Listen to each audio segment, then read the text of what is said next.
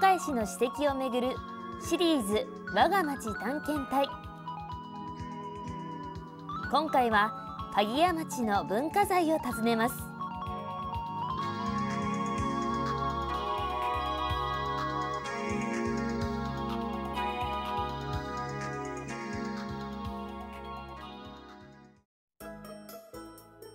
今回巡るのは東海市で一番高い山。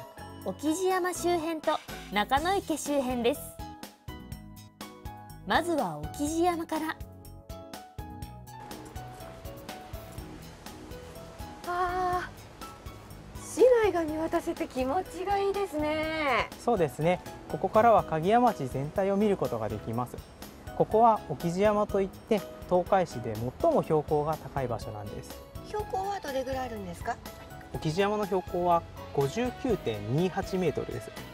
沖地山という名前は江戸時代名古屋城にいた尾張藩のお殿様がここに生地を借りに来ていて生地がたくさんいたことからこの名前がついたと言われています。そうなんですか、はい、萩屋の村人たちはこの野原や山を殿様の狩り場として大事にしたので生地もますますたくさん住むようになりました。この山のことを沖地山と呼ぶようになったのも殿様への尊敬の気持ちを込めてのものだったようです。沖地山には鍵屋緑地が整備されていて自然の中でのウォーキングを楽しむことができます。また21世紀の森づくり事業として植樹事業が行われフジバカマやアサギマダラなどさまざまな生物を見ることができます。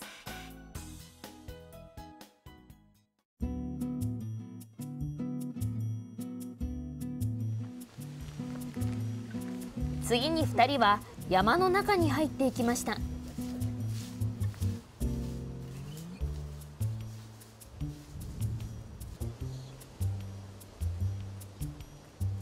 ほとんど何もない山の中なんですけれども。はいここは八代山古窯といって大昔に焼き物を焼いていた窯の跡なんです。ここに窯があったということですか？そうなんです。ほとんど形がわからないんですけれどもいつ頃の話なんですか？はい。今から800年前から600年前ぐらい平安時代の終わりから室町時代にかけてこうした鍵屋町の丘陵部では至る所で焼き物が焼かれていたんです。今では窯を見ることはできませんが設置された看板には窯の様子が書かれていますのでぜひ見てみてください。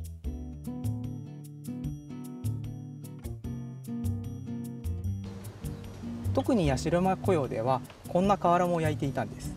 このような瓦が焼かれてたんですね。こういう瓦はどこに出荷されてたんですか？はい、えー、遠く平安京の鳥羽宮などで見つかっています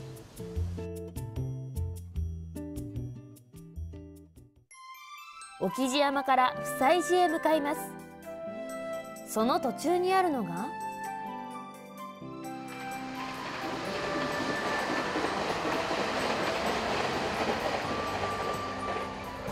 ここは名鉄の高和線です。あっちに見えるのが横須賀隧道と言います隧道ですか？はい。隧道というのはトンネルのことです。今から80年ぐらい前昭和6年に作られたとても古いトンネルなんです。トンネルという割にはとても短いんですけれども昔からあれぐらいの長さしかなかったんですか？はい。長さ自体は変わっていません。今は住宅地の中を通っているんですけれども、えー、かつてはここの辺りは沖地山のような丘陵地だったんです。普段からここはよく通るところなんですけれどもあまり気にしたことはなかったんですそういうお話を聞くと見方が変わりますよね、はい、そうですね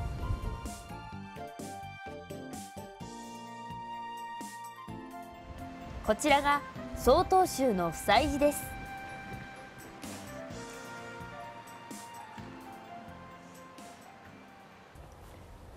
夫妻寺は鍵屋町でも昔からあるお寺ですよね。そうですね。夫妻寺が開かれたのは今から500年ほど前になります。鍵屋町の発展をこの場所から見守ってきました。夫妻寺には多くの文化財がありますが中でも江戸時代の終わりから明治時代にかけて鍵屋町では俳句を作る歌人という人がたくさん出ました。そうしたことを称える日がこの不祭寺にはあります。それがこの日になります。これはどなたの日なんですか？これは風園樹閣という鍵屋町から出た歌人の日です。この区碑は樹閣83歳の長寿を祝って昭和5年に弟子たちによって建てられました。雨風に知らせともなし花盛りと書かれています。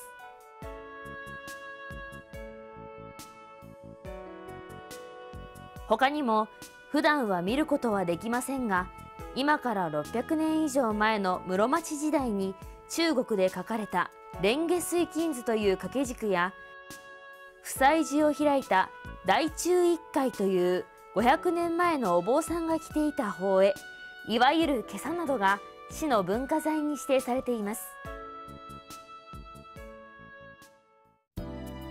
次に向かったのは平成26年3月に公園として整備された岩屋口古墳です。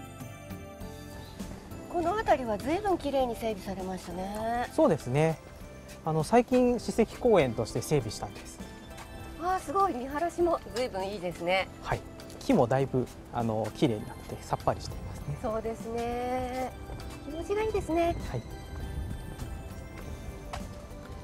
こちらが岩屋口古墳になります。東海市に古墳があるんですね。はい。ここにはどんな方が入ってたんですか？はい、古墳自体は文字が残っていないので残念ながらどういった人物がここに葬られていたかというのは謎のままなんです。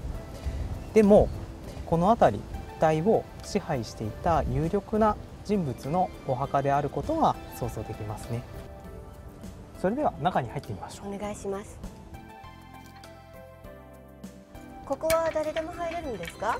えっ、と事前にあの連絡をいただければ見学することができます。はい。それではどうぞ。じゃあ失礼します、はい。この辺にある石もみんな当時のままのあその当時のままなんですか？はい。あ意外と天井低いですね。そうですね。ここはその本当の部屋に入る前の廊下みたいなところですね。はい。あ一気に開けましはいた、ちょっとなんか神秘的な雰囲気がしますね。そうですね。はい。ここに棺が置かれていたんです。こう縦に棺が置かれていたわけですね、はい。奥行きも結構ありますよね。そうですね。高さもありますけれども。はい。空気もちょっとヒヤッとします。はい。ね。この岩屋口古墳は知多半島でえー最も大きな石室を持った古墳ですこういったところに使われている石は遠く養老山脈の方から持ってきたと言われています。え今でもまだこうして残っているのは大切なことですね、はい貴重な文化。財貴重ですね。今でも当時の石が残されている岩屋口古墳。ご覧になりたい方は社会教育課までご連絡ください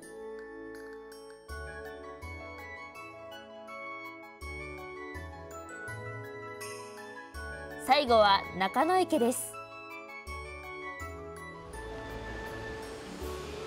中野池には何か言われがあるんですか？はい、中野池はもともと農業用のため池として作られた池です。知多半島には大きな川がなくて、えー昔から田んぼに入れる水にとても困っていました。それでため池が作られたんです。それが今から50年ほど前愛知用水ができたことによってこの水不足っていうのはなくなったんです。東海市の農家の方は愛知用水ができたことで随分楽になったんですね。そうですね。でも愛知用水というのは農業だけではなくて工業用にも、えーたくさん使われています。これは知多半島の発展にとってとても大きな出来事でした。何気なく見ている池もこうして歴史を振り返るといろいろなことが見えてくるんですね、はい。今回は鍵屋町の文化財を訪ねました